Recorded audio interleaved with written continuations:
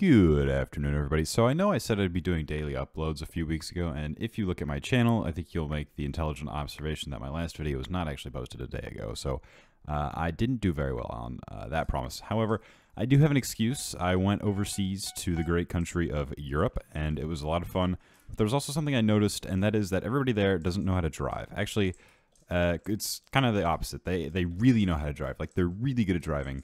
Um, and in like in like a scary way. So I'm I'm from the United States of America, and here in the United States of America, we all we all drive like like absolute wimps. We follow the road laws.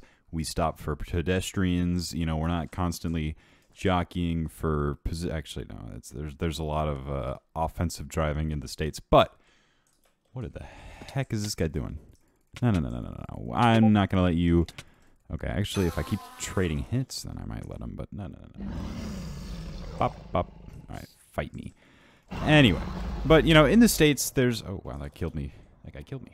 Uh, it's like the, there's there's rules, and you have to follow the rules. In in Europe, specifically Italy and Spain, uh, not so much. I I took a few cab rides, and the entire time I was clutching the handrail or whatever the hell it's called, the the thing on the ceiling that you're supposed to hold in, in like a crash. Actually, I don't even know why they're there. Where is green? Am I getting juked right now? Probably. Anyhow, um, yeah, those cab, maybe it's just the cab drivers, but like this guy, I, I was convinced he'd be like the most angry man on the planet and get out and be like, Mamma mia, uh, I don't know. Um, uh, but like he was so nice. It was just the second he got behind the wheel, you know, different, different man. But anyway, like uh, the streets too. I, cause the thing about Europe is it's very small comparative to like I don't know Texas or something, right? In Texas, you've got so much space. You're like, I need to build a new road. Well, now you have like a mile to do so. God, why did I? I just heard fall damage. Oh, there he is. Anyway, um, and you know you make like a five lane road and like life's good, right? But in Europe, you've got to deal with the the architecture of like 3,000 year old people who were like, yeah, okay, this alleyway is like wide enough for one person, so we're good.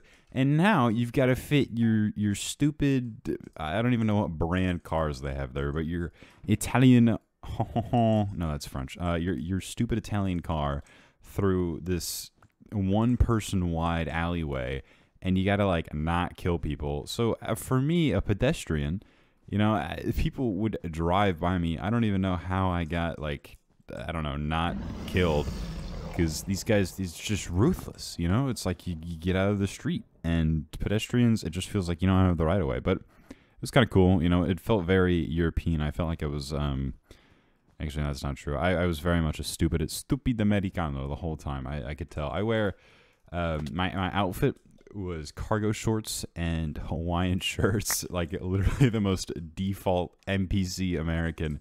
It was great. I was really living, uh, living the stereotype. Actually, I don't know if that's a good thing, but um, it was it was funny. I couldn't understand anybody, even if they were speaking English, because my brain is just not not big enough to understand accents. My bed is going to be gone. But anyway, in the United States, driving it's just like it's just really really easy comparatively. I'm like I'm like, oh wow, you know, the highway it's so scary, but then then I get into one alleyway or the roundabouts. Oh my god, the roundabouts. Those those roundabouts are like like a heart attack worthy. Like I don't I don't there's no there's nothing on the ground telling me where to go. How is my bed still alive? Did that guy like fall off the map? He did. I can actually go and save my bed. I'm going to do that real quick.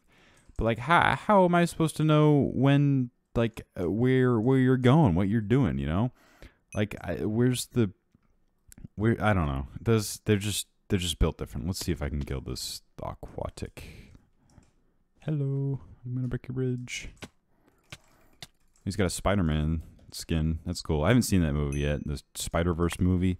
It looks pretty dang good though. I need to get on that. I've you know, I, I would, but I was in Europe and they don't have any good content in Europe. It's all like black and white movies or something. I don't know. I've only been there once. I didn't even I didn't see any theaters or anything. The only it, it's kind of cool. Most of the stuff there is uh, local. I say most. I, that's more of an assumption really than a statement of fact.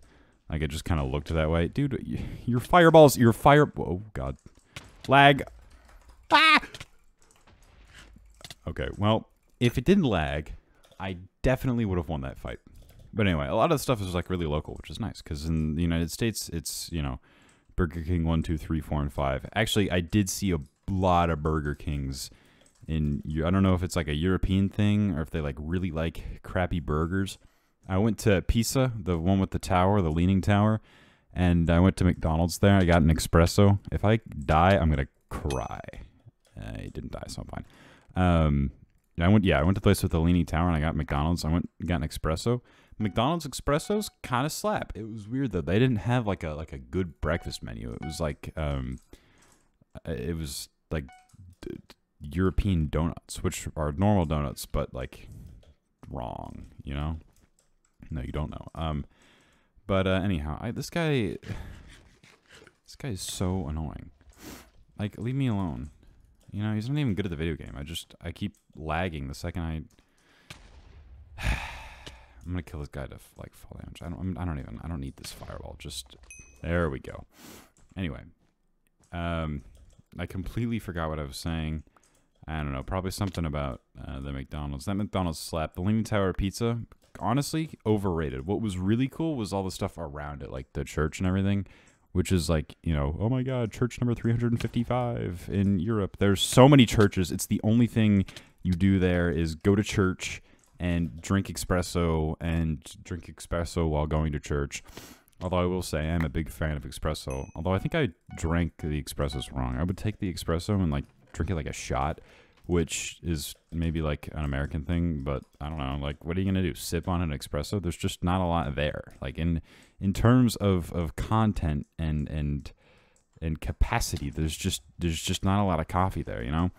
And I found it amusing that American coffee was just watered down espresso. Like, what the, hello? Anyway, um, and apparently you're not allowed to get a cappuccino after twelve o'clock, which is like really weird because you know coffee is like an all day activity. Like, what are you doing? You know, it's like really weird. Okay. I I'm just, this guy's starting to make me really annoyed. Oh, he's the last guy in the game? What am I doing? Whatever. Anyway, one of the reasons that driving has been on my mind is because I've I've got to take my my test, my driving test a little bit. Uh, and I say a little bit like like 2 weeks or something. But the thing that you have to do for a driving test is you got to get like a certificate before you can even take the test. Stop PvPing me. I am so upset. Whatever. Um and um, yeah, so you got to get the certificate, and you got to do like 30 hours of online yada yada yada yada yada. And the thing is, is that it's like 30 hours of of like learning or whatever, right? But the actual content isn't 30 hours worth of content. It's more of like one. So I I'm, I go onto this website and I scroll through like three pages, and it's like, have you you know you read everything, and then you got to do a quiz, and I can't I can't take the quiz until I've waited like two hours for this timer to run. I don't need these diamonds. And then I finally, oh my god, this guy's gonna fireball me. Oh my god, who could have seen this coming? I'm going to kill this man. Or die. I'm gonna go this way actually. And then just like hit him off the map. I'm gonna do something really cool or not. He's just gonna build up. Yeah. Oh my god, that was so epic. Um anyway, and then um and then I gotta wait two hours for the timer to go down so I can take the quiz, so I can scroll through three pages, so I can wait another hour to do to take another quiz. It's not even that like it's not educational content. It's like what it's like what happens when the wheel turns left.